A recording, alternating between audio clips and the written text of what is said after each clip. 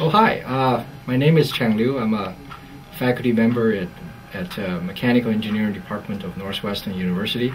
And today I'm going to show you the actual engine inside the digital micromirror projector uh, made by uh, Texas Instruments. So here, this is a chip. Many of you have seen the uh, have seen the uh,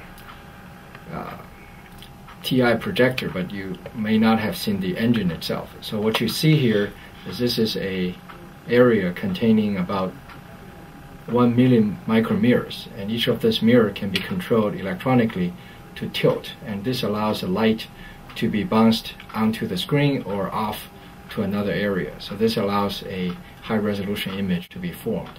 And if you look on the back side of this, you see a lot of wire leads, and those allows the electrical signals to be passed to control the millions of micromirrors moving up and down individually.